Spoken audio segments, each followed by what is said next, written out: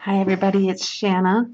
I'm doing something daring today. I'm actually speaking through a video. I'll probably pause it and or quiet it down and throw some music on in a little bit. And I just have always been paranoid about my voice and I was convinced at a retreat by a couple of the gals that my voice isn't that bad. It's not as cute as Tiffany Goff Smith's, who this piece is going to be inspired by. She did this awesome little video about how to make a bird wall hanging, and I was inspired by it. Mine is a little bit different, um, but it's just going to be basic supplies, and I'll put little tidbits like I normally do on the video, uh, telling you what I'm using and when. And I am going to mute this up, and we will go from there. Big hugs and mushy stuff. I hope you enjoy.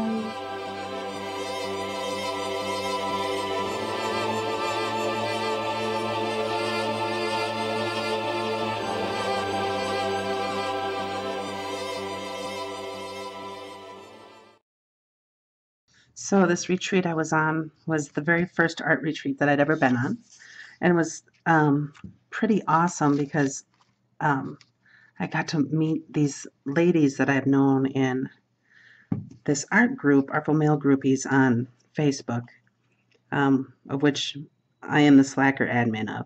It was hosted by the main admin, Betty, um, and she just went above and beyond.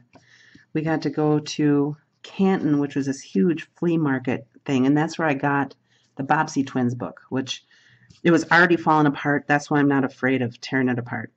Um, the pages are already out of the falling out of the binding and everything, and just the color of the paper was awesome. I also got the chance to do a little uh, class, I guess you call it, with Tiffany Goff Smith, and for me, I tend to be so precise on everything and um, I don't necessarily plan things out, but I usually end up adding more detail than I wish I would on some things because sometimes I look back at some of these videos and go, oh, why didn't I stop there?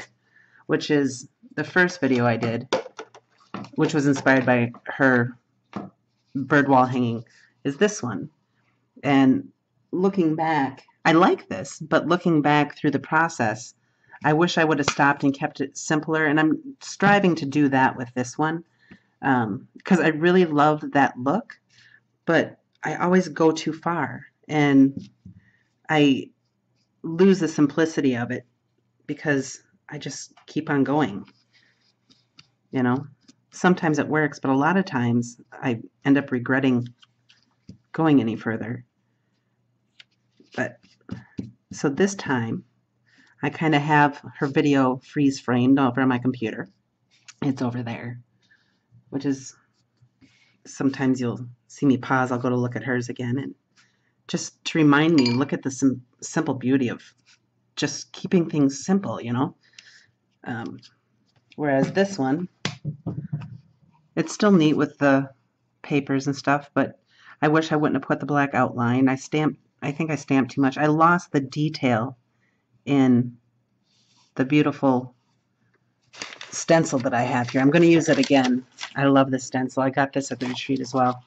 Um, Patty Tolly Parrish. The stencil is just amazing. I love it. I'm going to use it again. But this time I'm, like I said, I'm just going to keep it simple. And you saw how I put this aside. Isn't that the perfect bird shape? I think I'll go right like that. I'll make another bird too, but um, throw a little gesso down on this just to keep it. Actually, I'll water it down. All right, I'm going to mute it again. Oh, I thought I should tell you too. This is a little sign I got. This is what made me want to follow hers. I got this wood placard. I have probably a good 20 of them left. It says 29 cents. I got them for like 15 cents a piece.